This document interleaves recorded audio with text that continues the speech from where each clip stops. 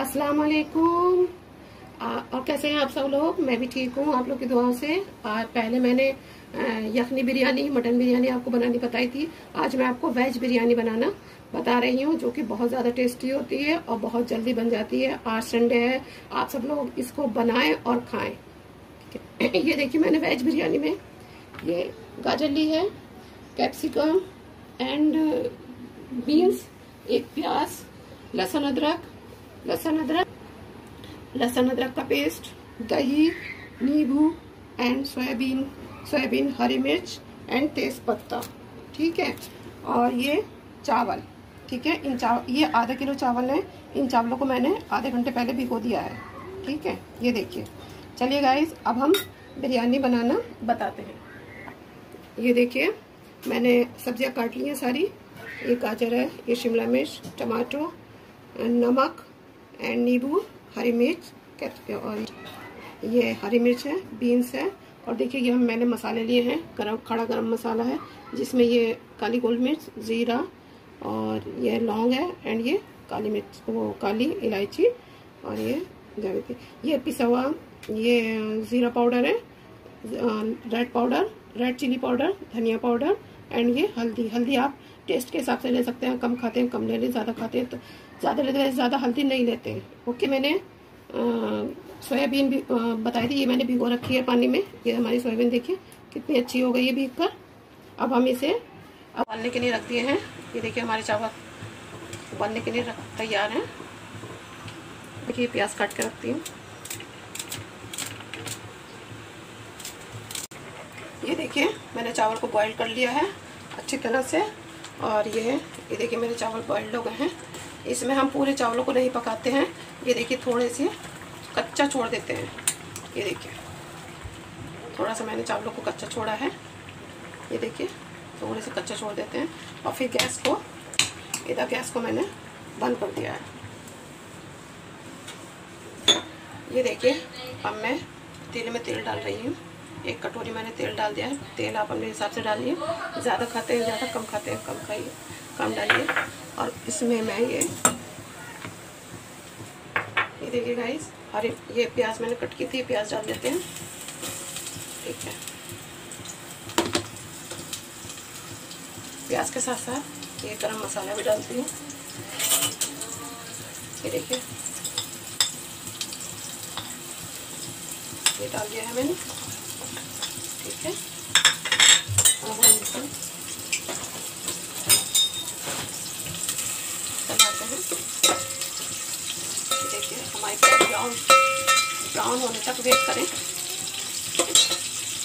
ये देखिए, मेरी प्याज ब्राउन होने लगी है, थोड़ी पिंक पिंक होने लगी है। प्याज का बहुत ज़्यादा ध्यान रखिएगा। प्याज जब आप इसमें तेल में डालेंगे तो प्याज जल ना पाए। ओके, अगर जल गई तो सारी वेज बिरयानी ख़राब हो जाएगी। ये देखिए, इस तरह से हमारी प्याज हो गई है। इस प्याज को अब हम निकाल लेते हैं, छोटे बर्तन ये देखिए, मैंने इसमें से प्याज निकाल ली है। तेल वही है, अब इसमें मैं थोड़ा सा गर्म मसाला डालती हूँ। थोड़ा सा गर्म मसाला डालकर। ये ये देखिए, मेरी सोयाबीन जो भीगी हुई थी ये डालती हूँ इसके अंदर।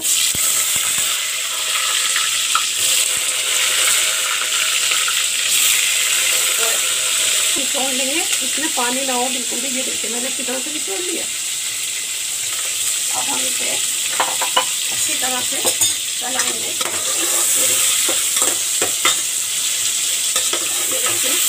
अच्छी तरह से चलाया है।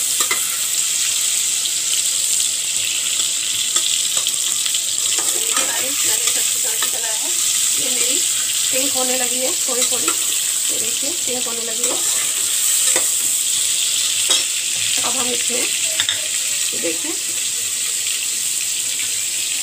ठीक है। ये मैंने इसमें टमाटर भी डाल दिया है। लहसुन मतलब का पेस्ट भी डाला है।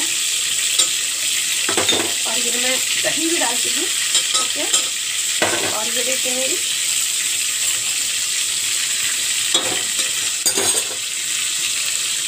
देखिए गाय मैंने मिर्च डाली है मैंने इसमें। एंड हरी मिर्च। ठीक। और ये देखिए, ये ज़्यादा डाली है। और जो आपके पास सभी सब्ज़ी अवेलेबल घर में हो, वो भी आप डाल सकते हैं, जैसे मटर है, गोभी है, और भी कुछ है, वो भी डाल सकते हैं। ये देखिए, ये मैंने तेज पत्ती डाल दिया। नमक मैंने तो चावल में डाल दिया था। अगर आपको कम लगता है तो आप नमक डाल सकते हैं। नहीं तो अपने टेस्ट के हिसाब से। ये देखिए भाई, अब हम इसे अच्छी तरह से चला देते हैं, सब सब्ज़ियाँ हमारे मिक्स हो जाती हैं। ये देखिए, देखो मैंने भूना है। अब इसमें मैं, ये देखिए, ये डाला है चिली पाउडर डाला है एंड धनिया पाउडर एंड हल्दी। ये सब मैंने इसमें डाल दिया। ये मेरा वेजिटेबल अच्छी तरह से भून रही है। इसको हम अच्छी तरह से भूनते हैं ताकि इसकी महक अच्छी तरह से आ जाए। ये देखिए, अच्छी तरह से भून रहा है। ठीक है हमारी वेजिटेबल सारी देखिए गलती भी शुरू हो गई हैं और बन भी रही है। ये मेरी सब्ज़ियाँ भून गई हैं। इन सब्जियों में से हम थोड़ी सी सब्ज़ी अलग निकाल लेते हैं। ये देखिए ये देखिए, मैंने अलग सब्ज़ी निकाल ली है थोड़ी सी। और ये सब्ज़ी है। ये देखिए, मैंने इसमें थोड़ा सा पानी भी डाल दिया है ताकि ये हमारा मसाला अंदर चले देखिए ठीक है? अब मैं इसके अंदर, ये देखिए, चावल जो थे, ये मैं डाल देती हूँ। ये देखिए, चावलों का मच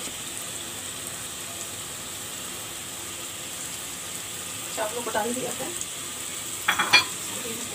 जो मैंने सब्ज़ी बचाई थी, और अलग से वो सब्ज़ी हम ये चावल डाले हैं पहले? इन चावलों को मैं ये सब्ज़ी इन चावलों के ऊपर से हम फिर से डाल देते हैं। सब्ज़ी डाल दी हमने और ये देखिए, ये जो देखिए मैंने प्याज निकाली थी, ये भी मैं मतलब हाथ से ज़्यादा सही रहेगा डाल ये देखिए अच्छी तरह से मैंने डाल दी है, फैलाकर। ये मैं देखिए अच्छी तरह से डाल रही हूँ। एंड ज़ीरा, ये देखिए, ज़ीरा भी मैंने डाल दिया है। ठीक है। और ये जो मैंने, ये देखिए, ये जो मैंने कलर लिया था, ये भी हम इसी में मैश कर देते हैं। सा इसके ऊपर से। अब मैं इसमें थोड़ा सा चावल ऊपर से डाल देती हूँ।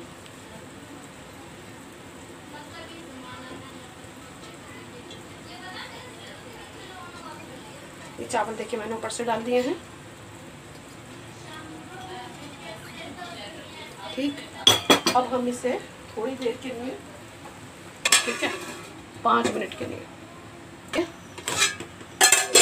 है? गाइस ये हमारी बिरयानी बनकर रेडी हो गई है। अब हम इसको हल्का हल्का चला देते हैं। ये देखिए ये देखिए ये देखिए। अब हमारी बिरयानी बनकर रेडी हो गई है। ठीक है? ये देखिए, मेरा दाना बिल्कुल गल गया है। ठीक है? बिल्कुल चावल बन गए हैं। बिल्कुल दाना देखिए गल गया है।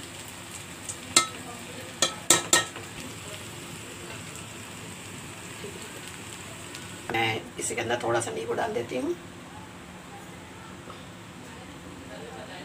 जो कि टेस्ट में बहुत अच्छा हो जाता है। ये देखिए, आप एक नींबू डालें, एक नींबू डाल दें, दो दो नींबू चाहें, दो नींबू डाल दें, या फिर आधा भी डाल सकते हैं ओके जो कि बहुत ज़्यादा टेस्टी हो जाता है। देखिए, मैंने बहुत ही स्लो पर ये बनाया है। अब हम ये देखिए, हमारी बिरयानी बनकर रेडी हो गई है, जो कि बहुत ज़्यादा टेस्टी है। ये देखिए अब मैं गैस बंद करती हूँ। ये देखिए।